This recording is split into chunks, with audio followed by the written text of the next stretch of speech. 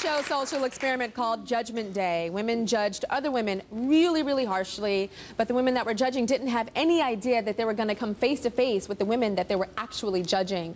Um, it's gotten very heated on the stage. You know, the audience has a lot to say. Before the break, I was like, audience, you guys want to weigh in? You guys are like, yeah! So uh, now is your time. Uh, Chance, who, who wants to say something first? My name is Robert Cameron, and I just want to say something as my point of view is that to me, women are gorgeous, no matter who they are, what they are, how they look, or nothing. The beauty is what's inside, not outside. Outside is artificial. Inside is what counts. Thank you. Who else? Let's say something. Stand on up. I just want to say that I'm shocked by this and I can actually like relate to it with the girls that are saying stuff about these girls. I'm only 19 and I know how being judged is. I was very, very heavy after I lost my little brother in 2001 and I dealt with that with food. I didn't know what to do at that age. I was only 12 years old. I didn't know how to handle that. And people would judge me when I went to school, call me fat, I was chubby. I didn't know what to do. So when I got the age of 18, I decided to go to plastic surgery.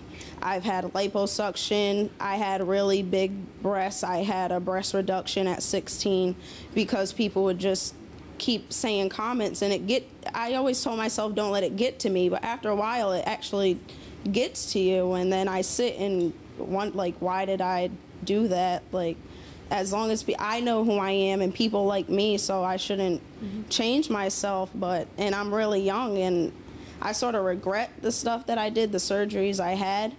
But I don't know. I just feel bad for these girls over here because I went through what they've been through. And what do you guys feel, um, Marie? I want to ask you because she was a baby. You know, she says she was 12 years old and got surgery at 16 years old from people saying negative things to her liposuction, you're not even 18 years, you're 18 years old now? 19, you got liposuction before you were like twice. even past your, twice. Not even out of your teen years, breast reduction, all these things because people were teasing you. People mm -hmm. were mm-hmm. saying you weren't good enough. People were judging you. Mm -hmm. She's a child. She's still a child. She's 19 years old. Does it make you second, you know, give second thoughts to the judgment? I absolutely would never judge somebody just because they have big breasts. I wouldn't judge someone, you know, especially a child. I have a 10-year-old daughter, and, you know, I would never, ever judge someone like that. My thing is, I think, just be tasteful with it. Just be tasteful with it, you know? But that's, do you know, that's but, my thing. But Marie, you're sitting here, mm -hmm. you're not skinny, okay? I'm not skinny, you're not skinny that. at all. Mm -hmm. And there are so many people. I'm not saying it's bad, you guys, because you know what I stand for. So I'm not saying it's bad. I'm just being truthful, okay? And not truthful in an ugly, judgmental way, but stating the truth of what I know the audience at home is thinking. A lot of them are screaming to me through the TV right now saying, Tyra, how could she say stuff like this when she's curvy, she's thick? I think your body is sexy, your body is fine. But there are a lot of people in the society that would think 100% the opposite of that. Absolutely, and I'm trying to do something about it. But because of what they think? Um, I think it was before I was, you know, teased a lot. Um, you know, I gained weight after I had my daughter.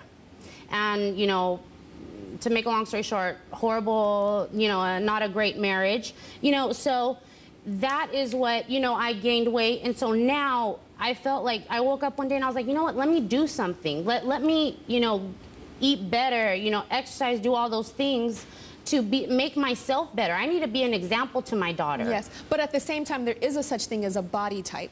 You have a curvy, beautiful, Absolutely. sexy I will never body be, type. you know, a, a um, stick thin. I will never be. And, and because of that, and because of that, people will judge you and say negative things. Absolutely. And is that okay? Everybody does it. And that Everybody makes it okay? Judges. Everybody judges. You, you're going to tell me that if there was a girl walking by in fishnets and a mini skirt at, let's say, 11 p.m., you know, down Broadway or something, what are you going to think? You're going to think that's a, that's a hooker. No, maybe that's what you would oh, think. Oh, please. Jen, no, you know what? Just because you think that everybody does something doesn't make it okay. It does not. Oh, Everybody it lies. It, okay. it doesn't That's make it okay. I... Everybody sins. It doesn't make it okay.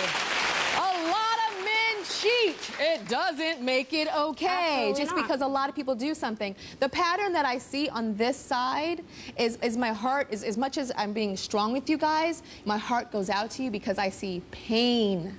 I see pain, pain, pain. With you, Nicole, you got your heart broken by a girl that had a Roman beautiful nose. And you said, everybody got a nose like that. I hate you because I have pain.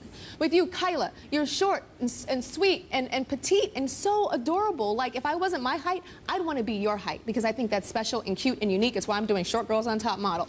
But you have pain from being teased like that. Mm-hmm. So you're lashing out. Then we've got Angel. Angel, you used to be tall and skinny and awkward. Because of that, you are lashing out at other people. Then we got Marie. Marie used to be super bigger, you say. You lost a lot, a lot of weight, and you got a lot of pain from that. So you're lashing out. You guys are all lashing. And I think we need to check with ourselves before we start lashing out at other people. Because whenever I feel insecure, that's when I gossip.